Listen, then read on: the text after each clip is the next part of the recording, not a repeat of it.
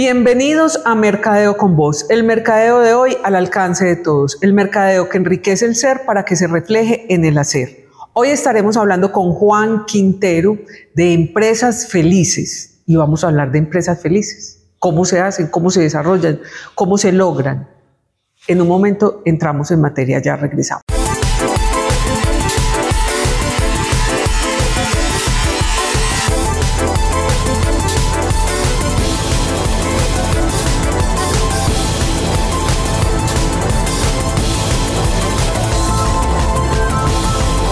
Estamos en Mercadeo con Voz con Juan Quintero. Él es el director eh, de Empresas Felices y vamos a hablar de eso, de empresas felices. Y Juan nos va a despejar muchas dudas al respecto porque uno dice, pues, cosa como tan utópica, eh, hablar de felicidad en una empresa, pero pues es muy posible. Juan, bienvenido a Mercadeo con Voz. Qué rico que podamos hablar de este tema que me llamó mucho la atención cuando me contaron sobre él y poderte tener acá en esta oportunidad es muy importante y muy rico. Claro, Marisa, muchísimas gracias. Y, yo creo que el punto de partida mejor para empezar a conversar eso es lo que tú planteabas. Sí. Empresas felices, es un poco utópico hablar de esto. Sí. Y yo quisiera preguntarte algo. Si yo te dijera empresas felices, ¿para ti qué sería una empresa feliz?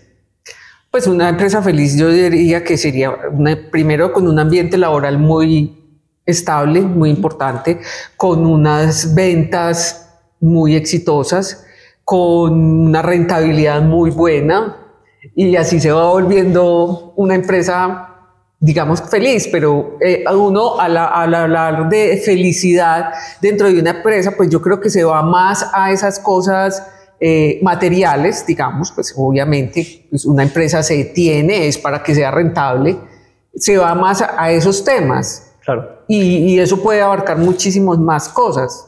Lo que dices es muy, es muy válido porque yo creo que ese es el punto de partida. Si yo te pregunto a ti y a las personas que nos acompañan en, en este espacio o en cualquier otro espacio, ¿qué es felicidad? Podríamos tener una definición de felicidad por cada una de las personas. Exactamente. Lo mismo sucede con las organizaciones. Hablar de empresas felices realmente es posible. Llevamos ya en empresas felices siete años haciendo esto, pero sí es importante hacer algunas distinciones. Cuando hablamos de, felicidad en las organizaciones, tú hablas de varios elementos y voy a partir de un elemento que es crucial para esta conversación, que es algo que se llama capitalismo consciente, que nació por allá en 2016-2017. Eh, y capitalismo consciente precisamente dice, el capitalismo es importante, es necesario, pero la invitación que queremos hacer es a ir más allá de simplemente un tema de indicadores financieros. También hay que hablar del impacto que se tiene a nivel social, a nivel medioambiental, a nivel de las personas. Y capitalismo consciente propone o se fundamenta en cuatro pilares muy importantes, que es una cultura consciente, y una cultura consciente es esa que integra a sus eh, partes interesadas y a los colaboradores principalmente, pero las integra de una manera muy, valga la redundancia, integral. Es decir, no solamente viéndolos como un trabajador o alguien que viene a prestar sus talentos, sus habilidades, sino también como alguien que también trae sus dolores, sus necesidades, sus motivaciones, sus expectativas. Cultura consciente propone algo muy interesante que es un liderazgo más consciente. Y es ese liderazgo que, digamos que va un poco más allá de los modelos tradicionales de liderazgo y de nuevo se acerca mucho a la persona para poder acompañarla y poder en ese caso conducirla a que, a que es lo mejor de ella. Ese es otro elemento. El otro elemento es el propósito superior, que es algo bien bonito, que está como en la parte superior y es que las organizaciones deben tener un propósito más allá de alcanzar esos indicadores financieros que son importantes, que es la sangre de la organización. Sin eso no podemos funcionar, no hay, no hay cómo invertir en nada, ¿sí? Pero sí propone que ese propósito superior debe ir más allá, debe tocar algo más allá, debe tocar corazones, debe tocar realmente temas que son relevantes para la sociedad y para la humanidad. Y un, elemento que es, digamos que complementario a esto, entonces todo el tema de cultura, todo el tema de propósito superior, todo el tema de liderazgo consciente, y eso se integra a algo que ellos llaman que las organizaciones deben también integrar a las partes interesadas. No debería ser un ejercicio solamente de yo con mi organización eh, y con mis, en este caso con mis eh, inversionistas, sino que hay un montón de partes interesadas que también son partes que se ven influenciadas e impactadas positivo o negativamente por la organización. Entonces, ese es un punto de partida muy importante. Tú hablaste de rentabilidad, pero hablaste de cultura también. Claro. Mencionaste dos de los elementos importantes, pero también es, es clave poder hablar de cómo se integran las personas y cómo se integran esas otras partes interesadas en toda esta dinámica. Entonces, ese es un punto de partida importante. Ahora, eh, te voy a hablar de algo mucho más reciente. Mercer es una importante consultora latinoamericana que eh, constantemente está indagando en las organizaciones sobre tres pilares principales, que es negocios, estrategias y talento. Y cada año ellos sacan una publicación donde hablan sobre las tendencias principales que hay en cada uno de esos pilares. Recientemente hicieron una publicación sobre eh, las tendencias que hay en cuanto a talento en 2023. Y el título de, de esta publicación, que es un artículo realmente, es un ebook muy bien estructurado, de mucha investigación, muy científico, se llama, es el, la oportunidad del resurgimiento de las organizaciones cercanas a las personas. Entonces, si tú me preguntas a mí, Juan, ¿qué es una organización o qué es una empresa feliz? Puede haber muchas definiciones. De hecho, hay diferentes modelos con los cuales se puede trabajar y abordar. Pero, más allá de eso, eh, es importante comprender también que hay unas realidades que hacen parte de esas organizaciones. Una de ellas, ya te hablé de cuatro elementos principales que hacen parte del capitalismo consciente, pero te voy a hablar de una muy importante que es eso de lo que se está hablando hoy en día. ¿Qué significa una organización cercana a las personas? ¿Qué es lo que nos habla Mercer? De nuevo, es una invitación muy importante de una consultora muy importante a nivel mundial y que nos dice, eh, habla de dos indicadores muy importantes. Nos decía que entre 2019 y 2022, a cierre de 2022, se veía, por ejemplo, en las personas a quienes les hacían las preguntas, les hacían la siguiente pregunta. ¿Cómo se siente usted de energía para abordar su trabajo en el día a día? Y respondían las personas, en 2019, esa misma pregunta, respondían un 75%, 76% de las personas tenían disposición con muy buena energía a afrontar su trabajo. Ahorita cierre 2022, el promedio está más o menos en 69, 70 Bajó un poquito. Bajó, ¿cierto? Pero hay otro que es más importante. Hay algo que hoy es reconocido por la Organización Mundial de la Salud como una enfermedad laboral, que es el síndrome del burnout. ¿sí? Que en palabras coloquiales nuestras se le llama el síndrome del quemado, pero básicamente tiene que ver con un agotamiento extremo que tenemos en las organizaciones. Y decían, la propensión que hay de las personas en 2019 que había en ese momento era un 60%. Y decían, ahorita en cierre de 2022 estamos casi en el 80%. ¿sí? Entonces, nos permite ver, para nosotros una organización, una empresa feliz, reconoce y ve al individuo de una manera muy integral. La pregunta que yo te hice a ti, por ejemplo, la pregunta que te hice a ti eh, se la hago a muchos líderes y normalmente me responden una organización con buen clima, con buen ambiente laboral y demás. Eso es válido, indudablemente, eso es lo que queremos. Pero hay algo que es importante reconocer nuestra biología como seres humanos y es que somos seres emocionales. Y es decir, yo no puedo ir a mi trabajo solo con las emociones positivas. Yo también voy con las emociones negativas. Cuando tú te tomas eh, un... No, y, otra cosita, Juan, que es muy importante porque siempre nos dicen en todos los trabajos, los problemas se quedan en la casa. Así es. Usted no puede dejar los problemas en la casa. Usted tiene que llegar con los problemas para todas partes. Usted se va a mercar, se va con sus problemas, se va a trabajar, se va con sus problemas.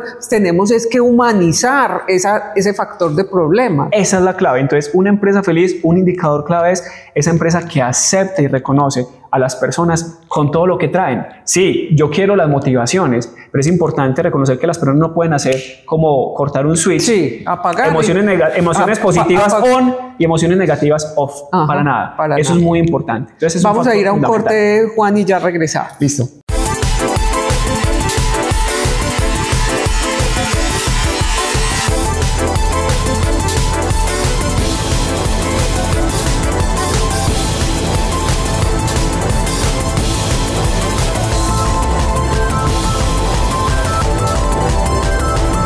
Continuamos con Mercadeo con vos y Juan Quintero hablando de las empresas felices. Y estamos, eh, terminamos en, ese, en, el bloque anterior, pues en ese punto del switch que uno no puede apagar una emoción y prender otra. Uno va con su paquete completo para todos lados. Es imposible decir, yo no puedo, no, yo esta tristeza que tengo, una depresión que ha sido post pandemia, casi que una enfermedad eh, es, es, un problema de salud pública, Así es. pues no nos la podemos quitar porque sí. Así es, y lo que dices es muy válido porque de hecho hablas de un indicador muy clave. Hoy en día a nivel mundial la depresión y la ansiedad prácticamente es una enfermedad que está, que está preocupando mucho a los gobiernos incluso. Es una realidad. Y mencionábamos el tema del switch y te hago esta pequeña analogía. Cuando a ti te envían un antibiótico porque tienes una infección, te hacen una, una advertencia, algo que tú tienes claro en, eso te va a matar la infección. Te va a matar de pronto unos microorganismos que no están eh, funcionando muy bien pero adicional también lo va a hacer con los positivos, con los buenos. Eso es lo que nosotros debemos reconocer. Cuando yo a una persona la invito a que entre a mi organización, a que haga parte de mi organización y que quiero que me entregue sus motivaciones, sus talentos, sus habilidades, pues también debo reconocer que cada persona tiene unas, unos elementos, unas habilidades por desarrollar. También trae situaciones personales que hay que tratar. Y tú mencionaste, por ejemplo, el tema de emociones. Mira, hoy en tiempos de tanta incertidumbre, con mucha más razón debemos tratar este tema. ¿Por qué? En los procesos de cambio, naturalmente, en cualquier proceso de cambio como seres humanos, afrontamos normalmente seis emociones, cinco emociones, que son dolor, ansiedad, frustración, eh, tristeza y rabia. Son emociones naturales en los procesos de cambio. ¿Y qué nos sucede muchas veces en las organizaciones, en muchas empresas? Hay que, o sea, se vino el cambio, hay que vivirlo, hay que, hay que hacerlo ya no hay paso, no hay tiempo para emociones, no hay espacio para las emociones de las personas, porque queremos que ellos estén dispuestos. Ahora, ¿qué es lo importante reconocer con esto? Cuando ese ser humano viene a mi organización, a ese espacio, pues también viene con esas emociones que son importantes. Es como con una etapa de duelo un duelo tiene, y un duelo no necesariamente es la pérdida de un ser querido, un duelo es la pérdida de un trabajo, una relación de pronto que se terminó y muchas otras cosas, siempre tiene unas etapas naturales que no nos podemos saltar, porque hay que entender algo, como seres humanos, antes de ser seres pensantes, éramos seres emocionales. Primero fuimos seres emocionales que antes seres pensantes. La emoción tiene un gran factor fundamental en el desempeño de las personas y no reconocer la emoción no solamente hablando desde el punto de vista de salud mental, sino hablando desde la gestión de la emoción de las personas y reconocer esa parte es central para lo que queramos hacer. Desempeño, tú, ahorita hablaste de ese tema y de indicadores.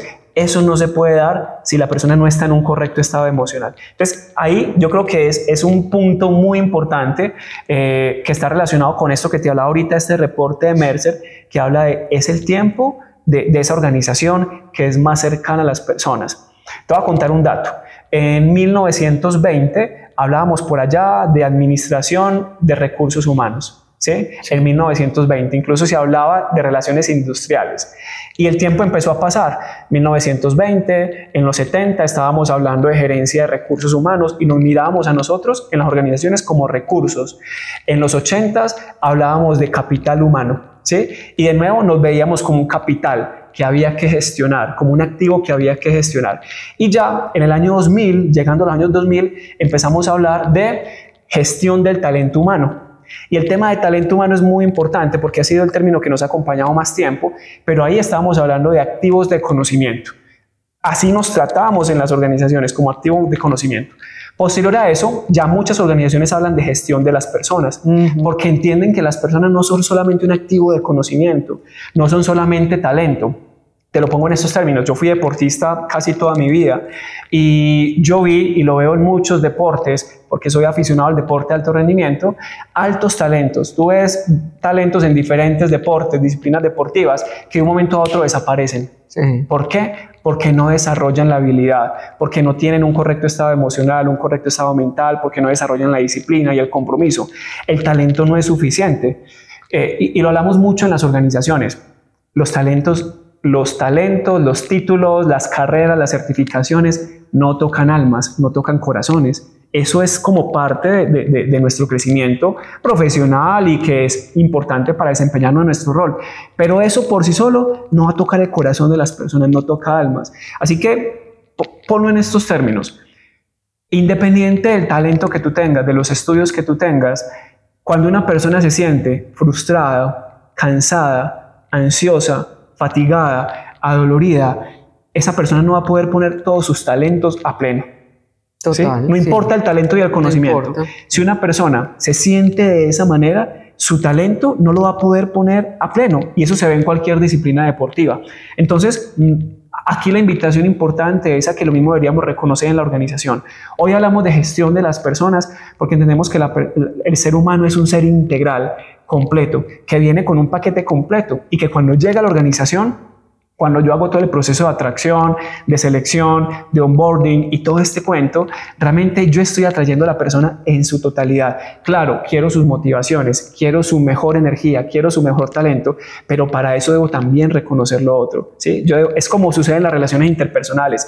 Cuando tú te casas, el padre Linero por allá hacía eh, un, hace algún tiempo unos encuentros eh, de pareja hace mucho tiempo y, y el encuentro de pareja estaba alrededor como de, hey, no te cases era como más o menos lo que decía, no te cases si no eres consciente de con quién te estás casando. Sí, tú te llevas todo lo bonito y lo positivo, pero adicional esa persona tiene muchos elementos por desarrollar, una historia de pronto también que contar. La organización es igual. Entonces, para nosotros, hablar de organizaciones felices hoy es reconocer ese paquete, ¿cierto? Que somos las personas, que somos seres integrales, que somos seres sociales por naturaleza. Eh, y el tiempo de pandemia nos enseñó mucho esto, cuando nos decían es momento de desconectarnos físicamente, y creo que eso fue un error que cometimos a nivel de comunicación, distanciamiento físico, la palabra no era distanciamiento, perdón, la palabra no era distanciamiento social, que se utilizó mucho, tú veías en pendones, en comunicaciones internas en empresas, hay que tener distanciamiento social, no, era distanciamiento físico porque por naturaleza somos seres sociales. Entonces, reconocer que somos seres sociales, que somos emocionales, que somos intelectuales, que tenemos talentos, que tenemos mucho por aportar, pero que también queremos... Eh, recibir un poco, que también queremos encontrar espacios de confianza y creo que eso es importante ahorita tocarlo porque es un factor fundamental hoy en, las empresas felices. Eh, ¿Cómo desarrollar eso? Es reconocernos de esa manera al interior de la organización.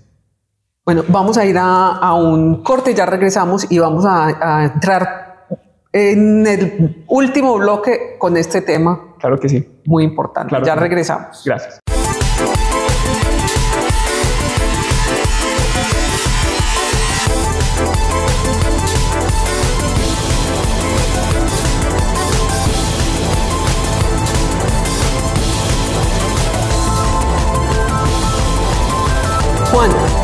Ya en este último bloque eh, miremos ese contexto de, cómo ver las empresas felices, cómo aportamos para que todo ese paquete que nos estabas diciendo, que es, todo un paquete que tenemos que mirar todo eh, global como una generalidad, no pues, y, no con ese distanciamiento social que lo tuvimos bien metido en la cabeza.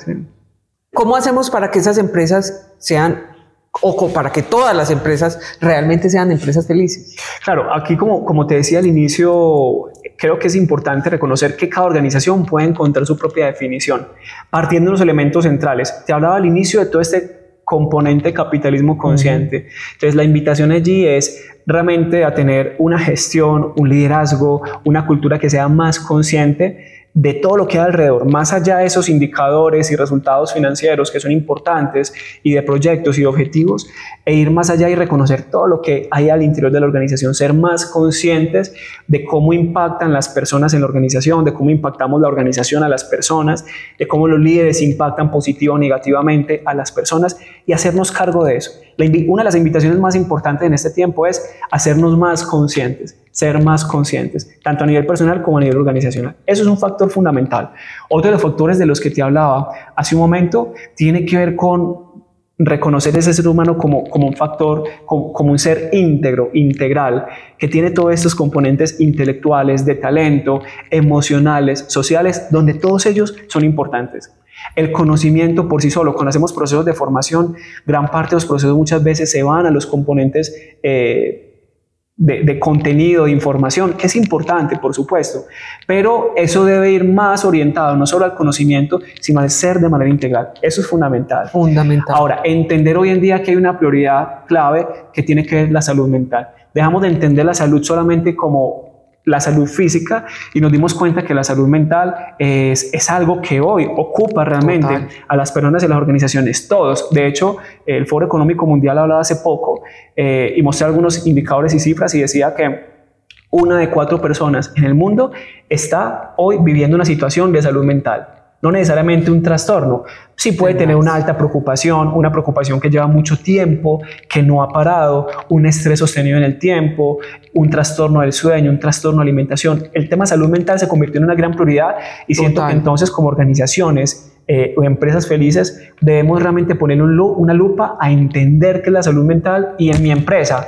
de 10 personas, de 5 personas, de 20 personas, ¿cómo puedo yo afrontar eso porque va a ser diferente, ¿cierto? Es totalmente, totalmente distinto. Todo depende de cada empresa. Así es, y también depende de mi cultura y la cultura que yo quiera tener. Entonces, ese es otro factor fundamental. Y el último factor eh, relevante, sin querer decir que son los únicos, porque hay más, pero hoy en día un factor relevante que es evidente en las diferentes publicaciones, estudios que se hacen, es crear entornos de trabajo seguros y confiables entornos de trabajo propicios para las conversaciones. Hoy, por ejemplo, nosotros en Empresa Felices no hablamos tanto de comunicación asertiva, hablamos más bien de la capacidad que tienen los líderes y los equipos de trabajo para sentarse a conversar.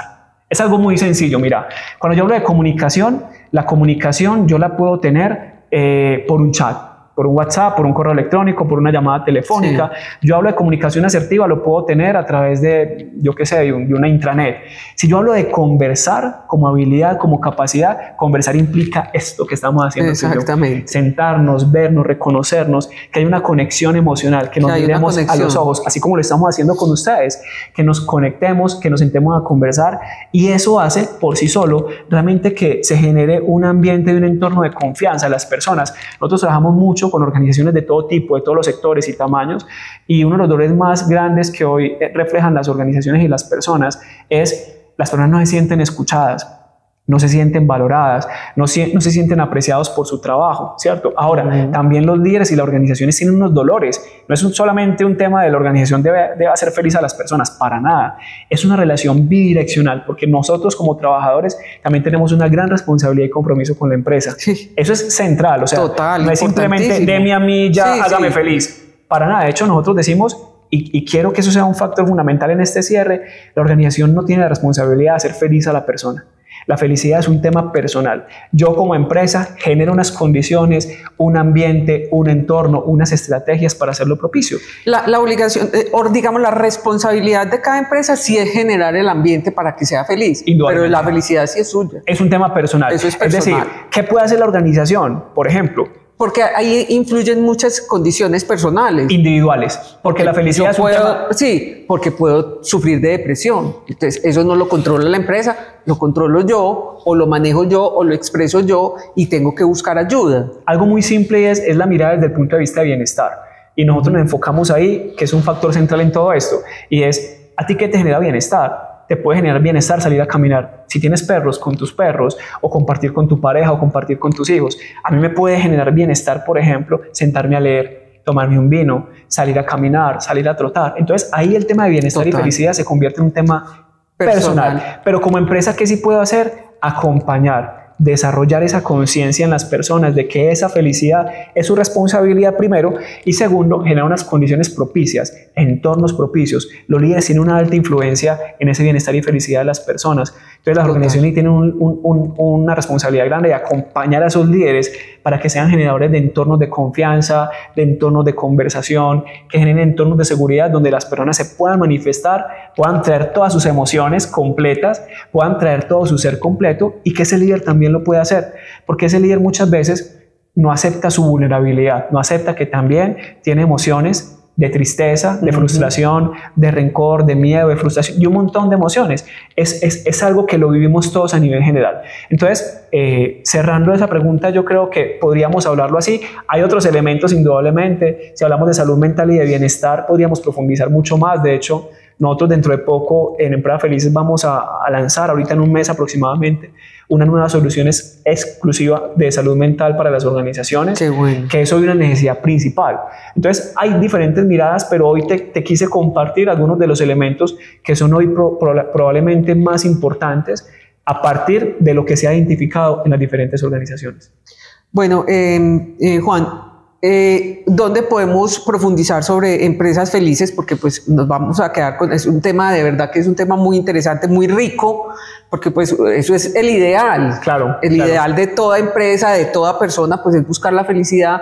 ¿Dónde podemos profundizar con empresas felices? Claro, nos pueden buscar en nuestras redes sociales, en Instagram y en LinkedIn como Empresas Felices, arroba Empresas Felices. Eh, allí nos pueden ver, a través de allí nos pueden contactar, eh, nos pueden escribir a nuestro, a nuestro chat, que es el 312-844-0918. Allí los atenderemos directamente.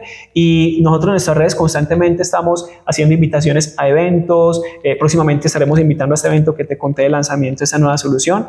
Y allí constantemente estamos también compartiendo conocimiento. Nuestra página web, también allí, desde allí publicamos información constantemente, que es www.empleasfelices.com. Así nos pueden encontrar. Muy fácil. Súper fácil, súper sencillo. No tiene pierde. Sí, para nada. bueno, Juan, mil gracias por acompañarnos. Gracias a ti, Maritza. Muchas gracias. Recuerden que estamos todos los sábados a las 10 y 30 de la mañana por Munera Isma Radio. Simultáneamente nos pueden ver en nuestra página web www.mercadeoconvoz.com. Agradecemos al Hotel Novotel por brindarnos su hospitalidad para generar este programa. Nos vemos y nos oímos la próxima semana. Chao. Hasta luego.